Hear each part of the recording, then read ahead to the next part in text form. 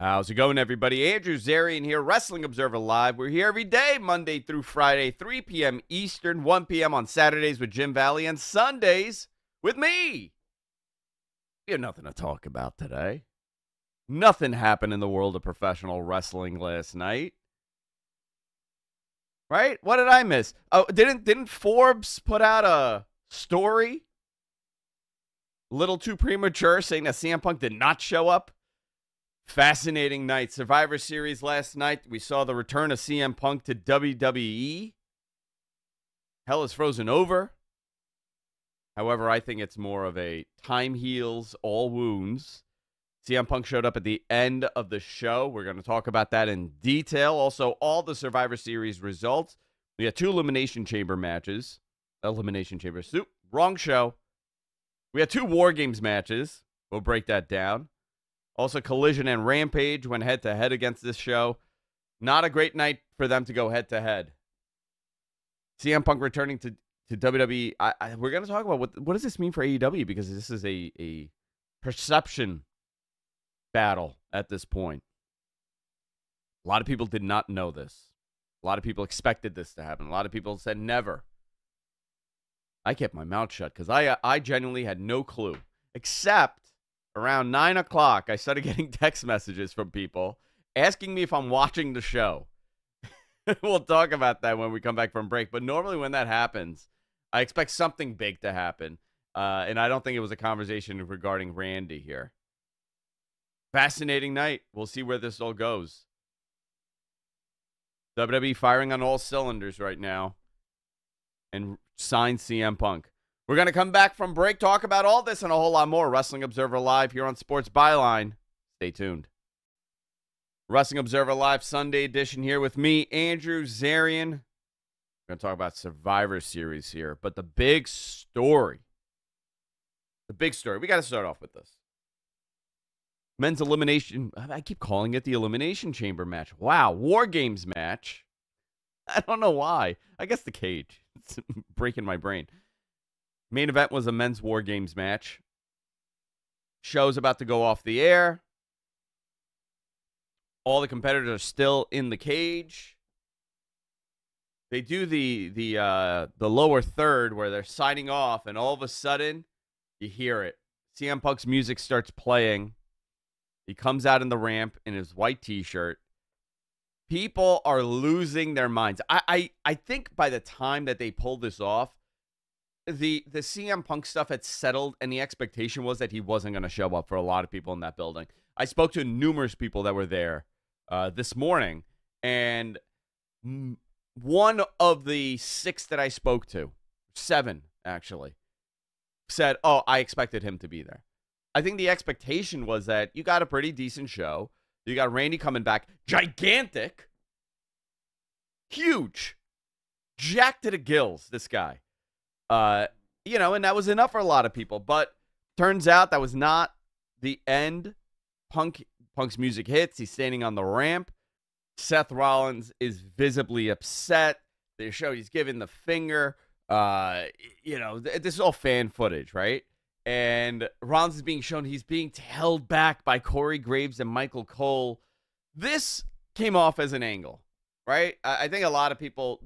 Th- there's going to be a lot of blurred lines here again, unfortunately, and I hope it doesn't lead down that same path because he's such a polarizing guy, CM Punk. Uh, you know, so obviously they're building something there. Per Dave this morning, Wrestling Observer Radio stated that he signed a multi-year deal. The deal came together 10 days ago and was kept really quiet. So, I mean, first of all, kudos to everybody that was able to shut up and not say a word, okay? The I never got one inkling of fact from anybody that he would be showing up. It was a lot of well, we could, we you know, couple things I did here. There were graphics being prepared, but I again, no way to verify this, right? It's just something that somebody said, and a lot of times you do that if you feel like you're being kept in the dark. You're one of the network partners, uh, and you know maybe you feel like you're not you're not being told everything uh, you prepare for stuff like this. You know, very it's very common. So that that wasn't enough for me.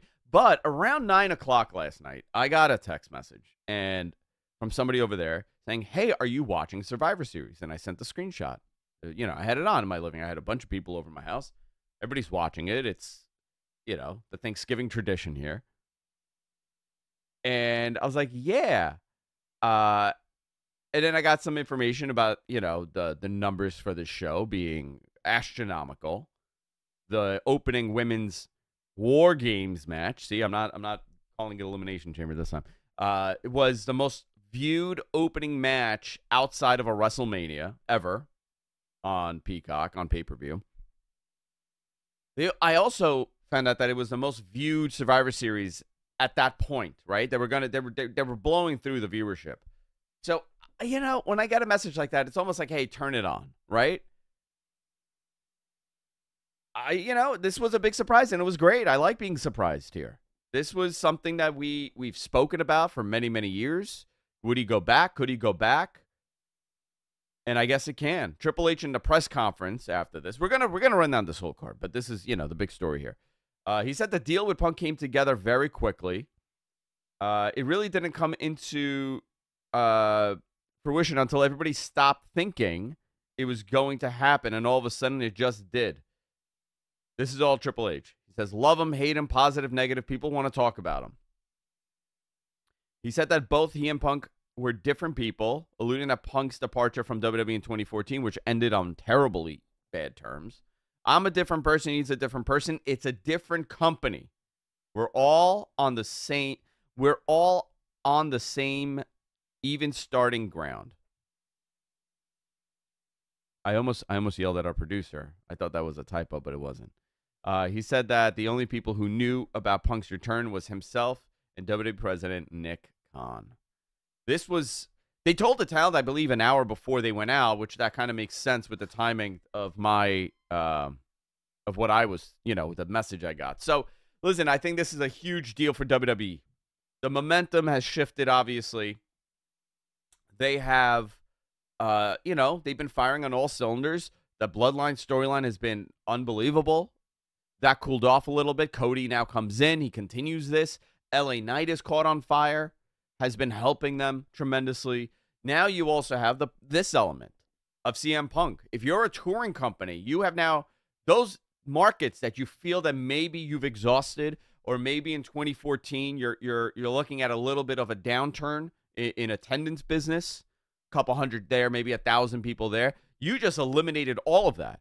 You're starting over now which is unbelievable. I think the reality here is that they have a very unique opportunity.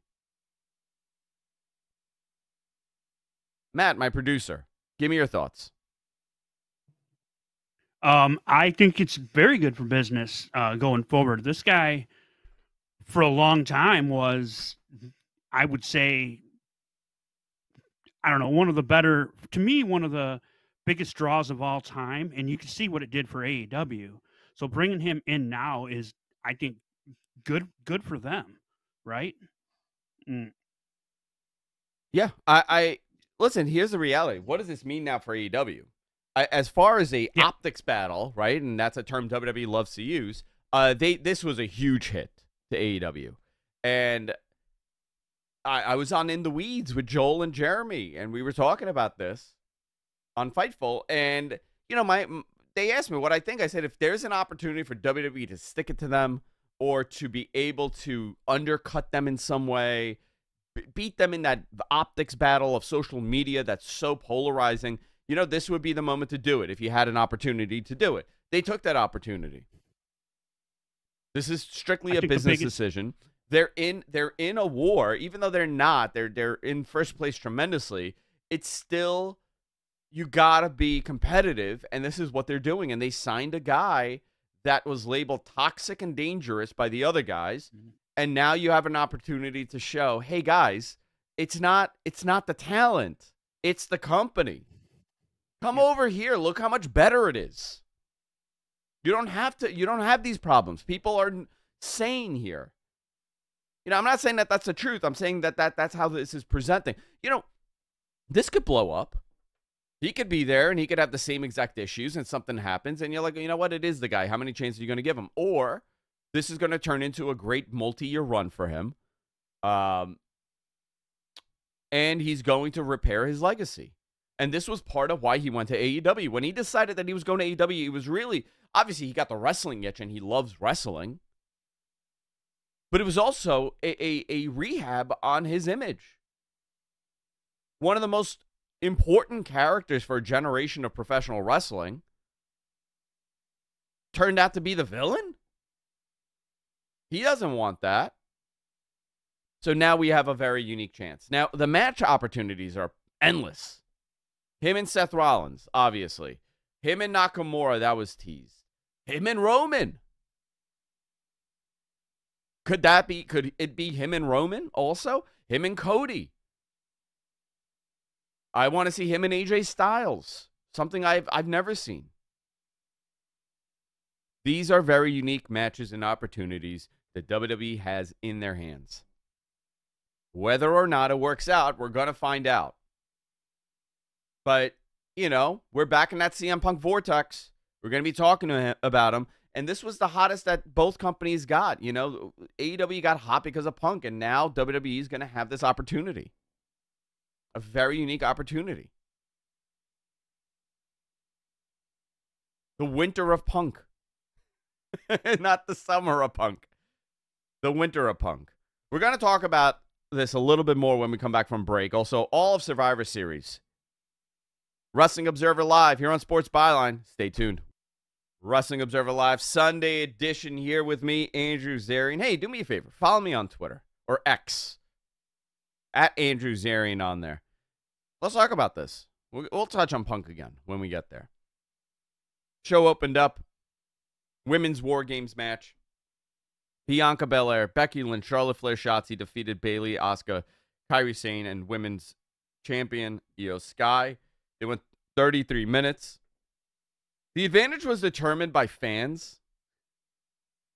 It was a it was a, a sponsored Ruffles potato chip uh, poll, and the baby faces had the advantage, which ended Not a up turning. that. I'm not. No, I'm not a fan of that either.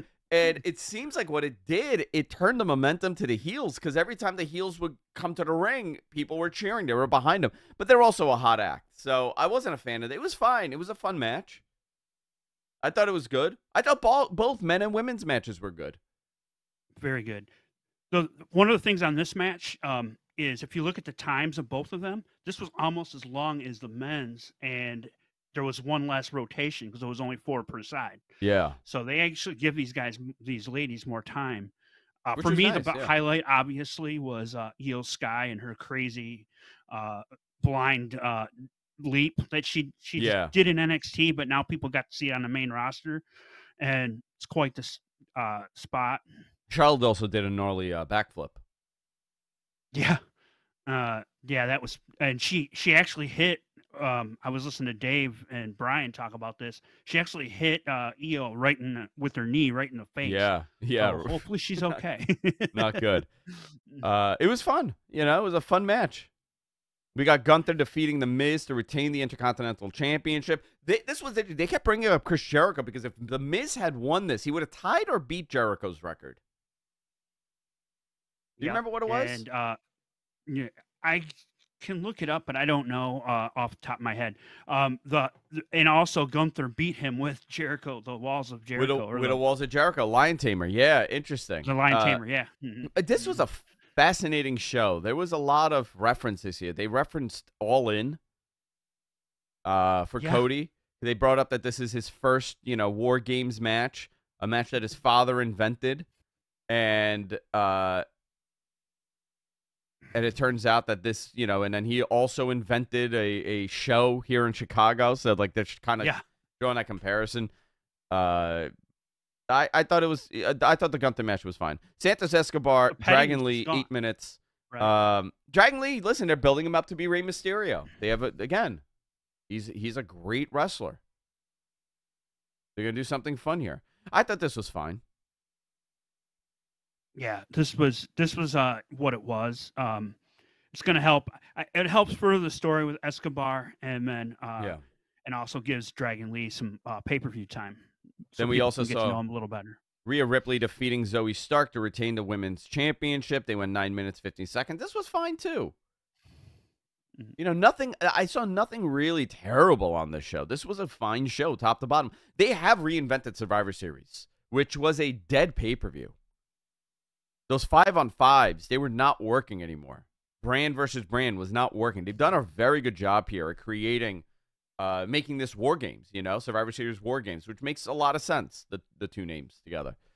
And here's the main event: Cody Rhodes, Sami Zayn, Jey Uso, World Heavyweight Champion Seth Rollins, and Randy Orton defeated Finn Balor, Damian Priest, Dominik Mysterio, JD McDonagh, and Drew McIntyre. They teased that Randy wasn't there uh, when the match actually began, and I don't know why they did that. They uh, because we knew that he was there. They said that he was coming. Finally, Randy showed up, bigger than I've ever seen this man. Right? Has he ever been this big? He was huge. He uh, he didn't miss the weight room while he was gone. That's for he sure. He was bigger than Drew. yeah. And, Drew, and Drew's not a small guy. Mhm. I mean, he was he was bigger than Drew here. I'm on the WWE front page right now, and they and it says CM Punk makes an earth-shattering return after Orton helps his team win. It's crazy, crazy seeing this on their website. Uh, they also teased the cash in. Rhea ran down with a referee with the briefcase. He went to go cash it in, but not enough time. So that's still available for Damian. Uh, that would have been interesting if they did that, right? I thought they were going to do it, and then I, and then I after it was done, I goes, it didn't make sense. That it, it felt like it was too convoluted. But um, having a tease in a different spot was unique. The tease in a different spot was very unique. Um, Mhm. Seth and Cody threw McDonagh off the cage into an RKO, which set up the pin.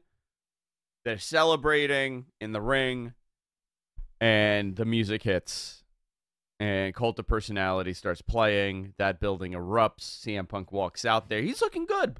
Traps look big. His Yeah. arms look big. He looked bigger too. He looks healthy. Is I think the best way to put it for me. Yeah, he looked. No, no, I'm not saying like big, like like chunk. I think he put on some muscle size. He looked great. Yeah, Maybe. Uh, well, he's had time. he didn't look tired. You know. Uh, now we're gonna see this. We're gonna see this set up, and what does this mean? Where do we go from here? We were talking about match opportunities in the last segment. Obviously, there's gonna be something with uh, world champion here, Seth Rollins. I, I wonder if he could he continues the I'm the real world champion. he could. It would be He could. So, so here's the question: Do you bring? Do you uh, position him as a babyface or a heel? Because I think heel is the way to go.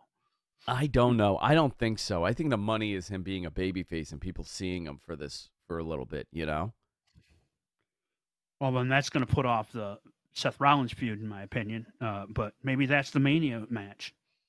Mm. What, him and him and uh Rollins. Well, you know what? Seth and Seth and Punk for that title, Cody and uh Cody and uh Roman for the other one. If Dwayne's not doing it. Very unique That's- opportunities it's here. money. What if or uh, I mean, would it be more money if you did Punk and and Roman? Uh, it's. I guess it depends on where they put him, what show they put him on too. If he's going to be on SmackDown or Raw. You know, you know so many, so many questions. You know, we uh, well, he is on Raw tomorrow. He will be on Monday Night Raw tomorrow, which that Raw number is going to do pretty good, even though there's competition with football. But Yeah, but know, the game isn't that great, so it should that- be fine. You got that Paul Heyman connection there.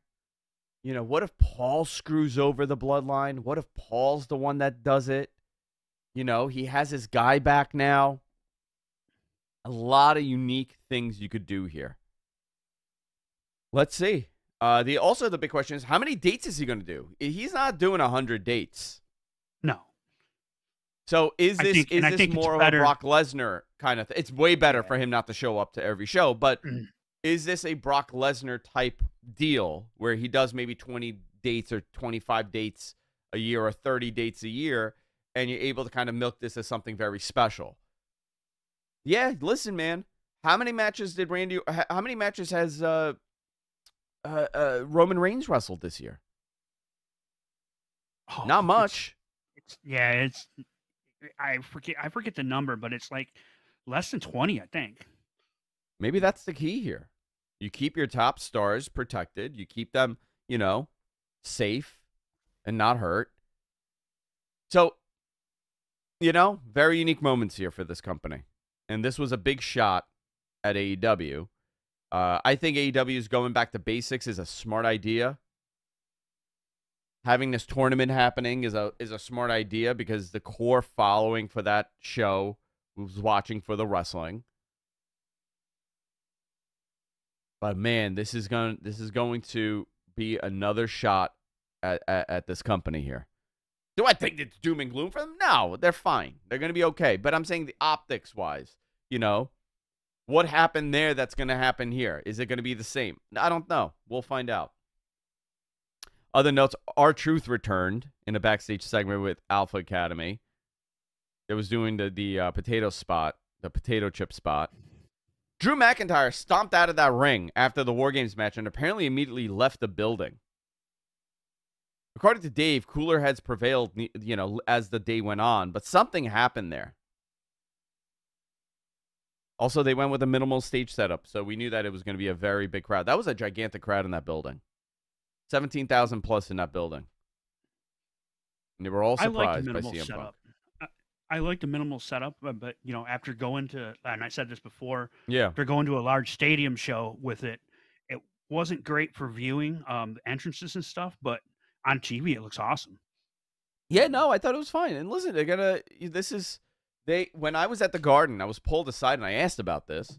Uh, and in the conversation, I was told, listen, if there are X amount, the percentage of tickets sold from that from off the gate, you know, like boom, we release them, we know we've sold out or close to selling out, or we, our our trajectory, our path is going to be a total sellout. We will open up more seats. Now the seats weren't open because of CM Punk because but when they opened those seats, it wasn't even happening. The last set, maybe, when they knew that it was done. The deal was done 10 days ago. So they knew this was going to be a hot moment for them and a very unique opportunity. We'll see where this goes. I want to see him and Nakamura. I want to see him and AJ. Him and Seth. Roman, Cody. What's the one match you really want to see out of it? If there's one. Him and Dwayne, part two. Oh, uh, you know what? It's Probably him and Roman. I want to see. I want to see what they could do. Yeah. I really want to see what there's they could do. These are too. these were yeah. There is history there. Uh, there's Heyman there. There's a lot that they could do here. They're gonna have to be smart. Very. I. I. I mean, this is this is all fun stuff. This is all exciting stuff. We're talking about this. People are gonna watch Raw now tomorrow. Normally, a lot of people skip it around this time. See, this is how the momentum kind of shifts. Ticket sales are to shift a little bit. Let's see. Let's see where we go from here. We also have to talk about Collision when we come back from break and Rampage. They had a three hour show yesterday going up against the pay per view. The Continental Classic is also kicked off. When we get back, we're going to break this all down and a whole lot more. Wrestling Observer Live here on Sports Byline. Stay tuned. Wrestling Observer Live Sunday edition. Not only did we have Survivor Series last night, we also had Collision and Rampage. I don't even know what this number is going to be.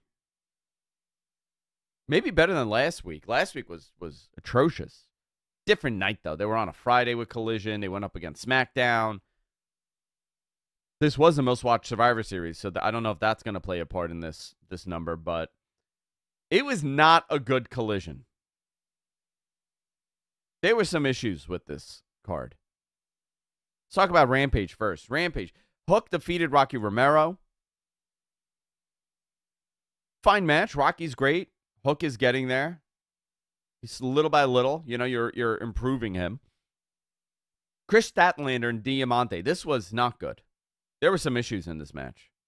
Did you see it, MG? I watched this. I was watching in the background um, as I was getting ready for uh, Survivor Series because I totally forgot that it was coming on at seven. Um, but when I this was the match I turned on, and I Diamante looks like she's never wrestled before. It was She not good. Really slow. Yeah. yeah, was- I, I don't know what were- was going their on. there. timing was off. Yeah. Uh-huh. You also had the Kingdom defeating Duke Davis and Danny Jones. An ROH Pure title match. Wheeler Yuta defeated Shibata to win the title. Uh, so I, I think some of this has to do with the fact that Shibata has to go back to Japan. I'm not sure if it's a visa issue or not, but he has to go back, and they had to pull that title off of him. So now. Yuta has the, the ROH Pure title. Um, I think it's fine. You know, Yeah, yeah. He had it before. This is the story is that you know he beat him, and now he, uh, Yuta beat him back for the title. So makes sense. It'll be on Yeah. TV more. Mm. Collision. You had the Continental Classic Blue League match. Brody King defeated Eddie Kingston. This was a great match. I like this match a lot. Mhm. Keith Lee defeated Lee Moriarty. There was a Lee chant happening throughout the match that tickled Keith Lee. who, you- who, which Lee are you chanting for? And you know what's funny is I don't know if you realize this, but Dragon Lee was wrestling um mm, uh uh what's his face on uh Survivor Series. Yeah, there were three time. Lee matches. Three Lee matches. FTR, Cash Wheeler, Dax Harwood defeated the Righteous, Vincent and Dutch. There was this was a weird match too. There was a there was a mess up, right? yeah. mm. Something This happened was- here yeah, This also. one was sloppy, very. Yeah. House rules match for the TBS title. Julia Hart defeated Lady Frost to retain. Lady Frost shows no countdown as her stipulation. No count. Chose. Uh, count- that's that's your typo. That's your Count one out. typo. The There you go. No Yeah. countouts. Mm. Lady Frost chose no countdown. Don't you dare count backwards from 10. She's not a fan of the Royal Rumble. She's not a fan of, of, of, of any count accounting, especially War Games Mm. counting. Not a fan. I've lost my screen here. There we go. Had no idea what was happening here. Adam Copeland came out to make the save at the end. Uh, this was a uh, there was the boys. You had the boys uh, and Killswitch, formerly Luchasaurus. Copeland came out to make the save. Uh, hit a um what Con-Chair-To? There you go. Thank you. He had a Con-Chair-To to to Killswitch. They're continuing the story between Christian and Adam Copeland. Uh, I thought they did a good job with that segment. I think Killswitch is a better name than Luchasaurus. We're moving away from that gimmick, which is I think, I, and that's fine. I mean, well, they are. He is part of it, right? When he leaves Christian's crew, right? Because like obviously you see that happening. Christian is verbally abusing him and calling him a dummy. Mhm. Does he go back to Luchasaurus, or does he stay as Killswitch? I think Killswitch is a much better name. I think you can keep this for a while, and at some point you can have the big uh, return. Maybe even um, down the road, if he's ever Jack Perry ever he ever comes back, If they Jack can reunite that at some back. point. Yeah. Yeah, they can reunite that at some point way down the road, and it'll get a big pop. Um, Yeah. But but for now, I mean, I'm loving the story between these two guys. I don't know about you, but um, I think there's going to be, I guess, maybe revolution. Maybe if you build it out that long, um, a huge match between these two. Um, Yeah. Mm. I You mean, know, it's, it's they could do it. or maybe it's at the December pay per view. I don't know, but yeah, I don't know. I don't know what who between um Copeland and uh, and Christian. Christian. I don't know. I, I mean, they're gonna have to do that match. I don't know. I don't know what the perfect time for that is. Mhm. You know, I don't they know. can tell a hell of a story. I'm, I'm well, they've been telling it. I mean, they they told it. Yeah. That, that that's the main story here. That they've been telling. That's the main story. because outside of the MJF uh, stuff, this is the feud that I'm actually looking most forward to the most. It's been kind of happening. Mm. Yeah, it's interesting. Um, and then we had Claudio Castagnoli defeating Daniel Garcia in the Blue League match for the Continental Classic tournament. this continues Daniel Garcia's losing streak. I think in the last three matches he's lost. hmm So right now, this is where we're at. Jon Moxley, three points. Jay White, three points. Swerve Strickland, three points. Rush, nothing. Jay Lethal, nothing. Mark Briscoe, nothing. That's the gold side. Blue League, Claudio Castagnoli, three points. Brody King, three points. Eddie Kingston, none. Garcia, none. Bryan Danielson has not gone yet, and Andrade has not gone yet. Who do you think takes this? Uh, I I was going back for you know it was my I think it's going to make the finals. I think Brody King. I think they're elevating him because because of the people that they put in this of the House of Black. I thought for sure it'd be Malachi in this, but they put Brody King in this. It feels deliberate to me. Yeah. So, um, I think he's going to go far. The story with Eddie Kingston giving up his uh, titles to put him in the match is, you know, obviously they planned on doing this, but I think that's unique too. So he's going to go far. But obviously you have Bryan Danielson there, uh, so it's kind of hard on that blue side. But I, I there's also a story of Moxley versus Danielson. Um, Yeah, I mean, but do you know that. that that's yeah, because they're on two different Mhm. sides here, right? mhm, yeah, that could be But- the finals. That could be, you know, I I would say, you know, uh, so this is this is you know you're kind of merging your triple crown champion. Moxley makes sense to win this. mhm. Danielson makes sense to win this. I think Eddie should be in the final make four. yeah, I can make an argument for at least half of this field. Swerve, the, the run he's on. Swerve also, lot. you know, that would mean Yeah. something, right? If. Swerve wins this, uh, Mhm. he's another one because he's on a great run right now. They they have a unique. I, I mean, this could turn out to be something nice. This could be like a yearly thing that they do. They could expand this more. You know, I know that Yes. Tony very much likes the G1 style.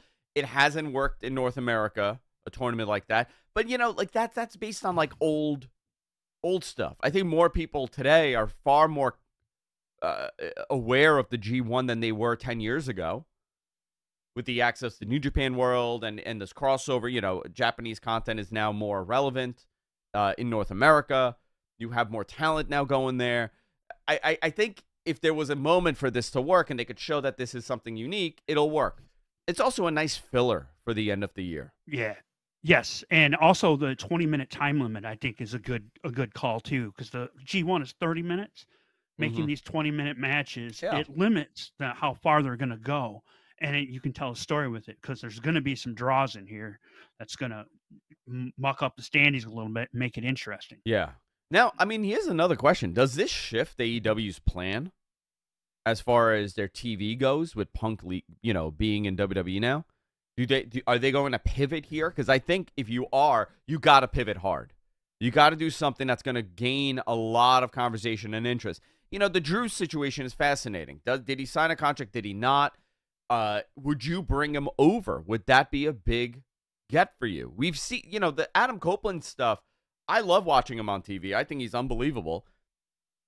But it hasn't shifted that that needle. It hasn't moved it. Right. I mean, at I- this point, who who could you bring over that is uh, CM Punk level? Really, no one. Uh, Even I mean, even Drew. Yeah. yeah, even Drew, Mm. right? Even Drew would Mm. be one.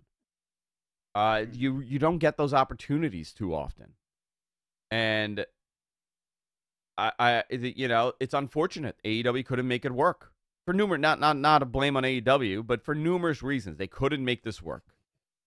Mhm. And you know you have him in your arsenal. It's better to have him there than not to have him. And now he's in WWE, and this is this is another momentum shift. I, I'm curious if this is going to change anything for them. Uh, how how does this feel with WBD? I know that w, WBD was very much on AEW's side with what they were doing. They weren't getting in the middle of this punk stuff. Uh, you know, we finally got over the CM Punk conversation. It was like two weeks we didn't talk about him, and now we're back. I got sick of writing notes about him. And now we're back. Here we are. and here we are. I mean, listen, I think the Continental Classic is going to be interesting. This is also, you know, you got to remember they're also losing Bryan Danielson for the most part. yeah. at Yeah. the end of this year. He's just gonna he's gonna be pretty much part timer. I think he's still gonna wrestle. I think Uh, he'll don't still wrestle, gonna- yeah. But I mean, but again, this is just another thing you're gonna get. You did get Will Ospreay, and I hope that you could build build this guy to be a tremendous, tremendous TV star. We already know what he's capable of doing. Now he needs to become a TV star. Mhm. You also have to put Kenny in a key position again. You gotta you gotta elevate some of these guys. You gotta have these unique match opportunities happening. You know, you're right now you're Yeah. in I also don't want them to rush anything like like Swerve. I think for Swerve, he's in a very unique opportunity, a very unique moment here. He is elevated. Don't rush it. Keep it the way it is. And you also have who's behind the mask. That's another thing they have. Which yeah, now that we know it's not story. it's not Right. CM Punk. God, that can can we just like spend like thirty seconds on that? yeah, go ahead. How how the rumor mill just started churning, and people just worked themselves into all kinds of uh pretzels, just mind melting themselves, trying to get, come up with who who this is, and and then now with him going to Survivor Series, people just got a little worked up. Well, who who could it be? I mean, is it Adam? Is it Adam Yeah. Cole? Mm. Is Adam Cole messing with Mm. him?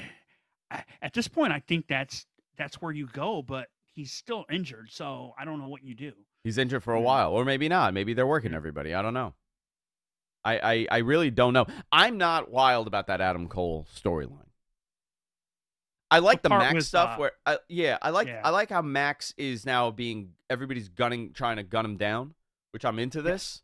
You know, you should. you have numerous champion. people. He's a champion, but everybody's coming at him, and the, kind of the story is that he's like falling apart, defending a tag title with no partner, and defending his world title every pay per view, and everything else he's doing in between. I, I like that he's getting worn down, but overall, I, I, I'm not crazy about the Adam Cole stuff. But that's me. Listen, if you like it, I'm not going to poo poo on your parade.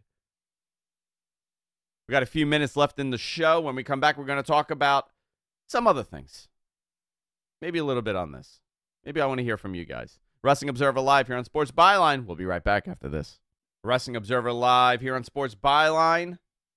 You, did you see what I got, MG? A couple minutes left. in the Yeah, you showed this. me. It's pretty cool. Isn't this cool? Mm. Life of a Yeah. Goth Baby. This is Reby's Now you got to explain who that is. yeah. So uh, I, I don't know if anybody, uh, if everybody follows. Like, uh, Reby Hardy has this great TikTok series about her daughter, uh, and how you know, like the day in the life of a gothic baby. It's really cute, really well done, really cute. And she wrote a book, and it's adorable. And I got it for my daughter because she loves that series, and it's really, really awesome. Look, you even got mad in there. Very cool stuff. I wanted to give them a little plug on this because this is uh, it takes a lot of talent to put together something like this and a lot of work. And I'm glad that uh, she got it. I got two of them. I don't know why I got two. I think I bought I bought two. I paid for this. Uh, but very uh, I wanted to give him a little shout out for that because it's an adorable, adorable book, and my daughter absolutely loves it. The other thing here, uh, I want to give a plug for all the other shows we're doing. I'll be live with Garrett Gonzalez on Tuesday with We're Live Pal. We're going to be talking about this, obviously, and a lot of the aftermath we're going to talk about because Monday Night Raw, all eyes on Monday Night Raw this week. Is CM Punk going to bring up AEW? Or is he going to do the I'm finally back home promo that they all do and they all bend the knee? Is CM Punk going to show up with his bag? Is he going to take the mic sleeve off? What kind of sneakers is he going to be wearing? Is he going to have any cupcake and, and seltzer? you know what? If Vince was still in charge, if Vince was still in charge, he would have been coming out holding a muffin every show. Mm. The Muffin Man, CM Punk. You get a muffin and you get him. He just throws him into the crowd. Fantastic. I, I, I, yeah, very interesting stuff. But that's it for this week, guys. We're out of time. We'll be back next week with Wrestling Observer Live. See y'all next time.